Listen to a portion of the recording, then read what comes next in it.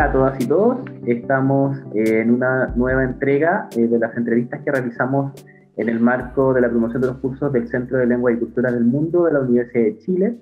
Estamos con la profesora Ana Rátova del curso de Ruso 1 que imparte nuestra universidad. Eh, muchas gracias, profesora, por estar con, con nosotros y con nosotros en este espacio.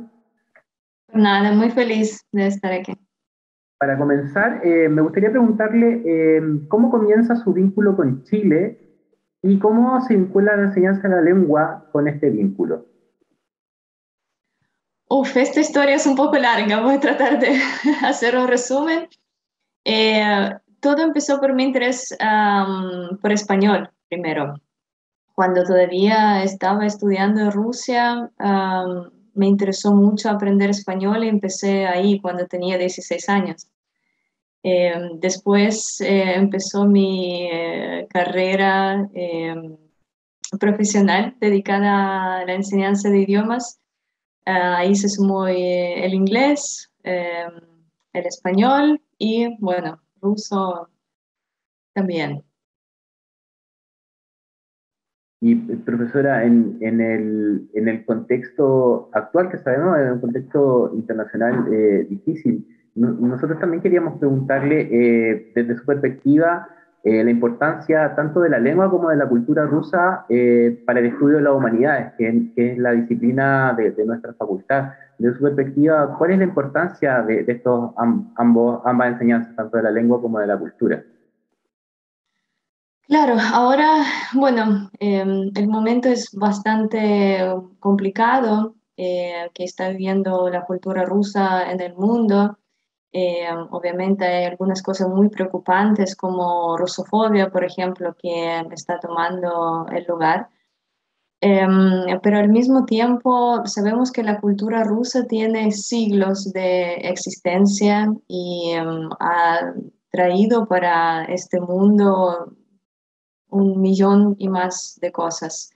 Y em, hemos tenido personas brillantes, ah, originarios de esas tierras, que han entregado a este mundo em, creaciones fantásticas y aquí podemos hablar de muchos, muchos ámbitos y de literatura y de em, teatro, música y un sinnúmero de otros campos donde realmente han contribuido de una forma eh, muy especial a la, a la, cultura mundial. Entonces, desde esta perspectiva, eh, creo que la cultura rusa es una parte esencial de la cultura mundial y es difícil imaginar las humanidades sin existencia de la cultura rusa y todo lo que ha entregado a lo largo de todo este tiempo. Sí, también podemos mencionar que en el centro también está el curso de cultura donde el profesor Cristian Cisterna aborda la gran literatura rusa, eh, entre otros, y si me permite, yo no sé pronunciar los apellidos en ruso, pero Chekhov, Dostoyevsky, Gogol, claro, son... son eh, Pushkin. claro, eh, con el profesor Cisterna vamos a tener otra entrevista por escrito donde también nos va a contar un poco más sobre ese curso. Em, también quisiera preguntarle, profesora, eh, junto con la literatura, eh, si nos puede recomendar otras expresiones culturales rusas eh, para que nuestro público interesado pueda, pueda leer, pueda visionar, tanto ya sea películas, música, donde, donde se despliegue la, la, la, lengua y la cultura rusa, nos puede dar un recorrido un poco cultural para poder apreciar la lengua y la cultura. Uf, hay, no es una tarea fácil porque hay tantos, tantos nombres, tantos estilos y em, eh, cada uno tiene sus gustos. Si eh, a uno le interesa la música clásica, ah, claro que va en algún punto em, escuchar a Tchaikovsky, Shostakovich Rimsky-Korsakov y em, otros más también, claro que existen otros estilos musicales eh, y la música moderna también rusa. Entonces, eh, hay realmente muchos, muchos. Me cuesta, me cuesta realmente elegir un par para mencionar.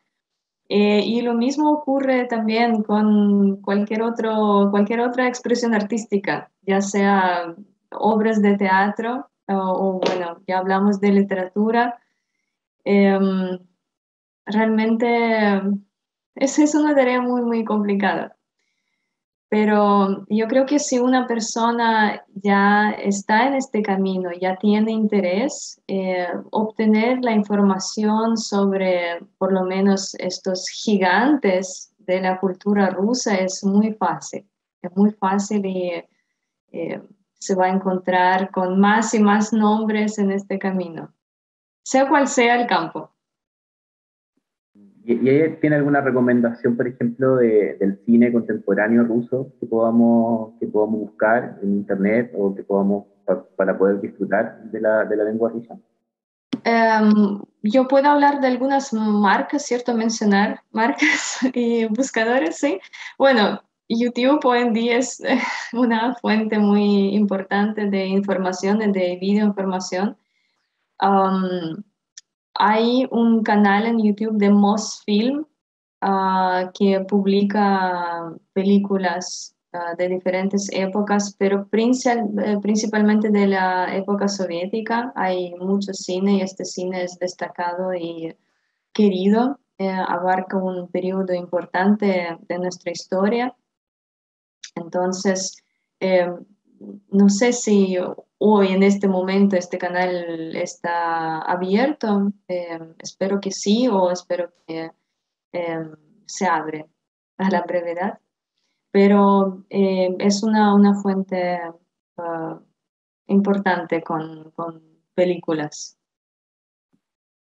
Profesora, para, para finalizar, me gustaría preguntarle por ¿Qué podría decirle usted a, a, nuestras interesadas, interesados en tomar el curso de, lengua rusa? ¿Qué invitación le podría hacer usted a, estas personas que están pensando en tomar el curso?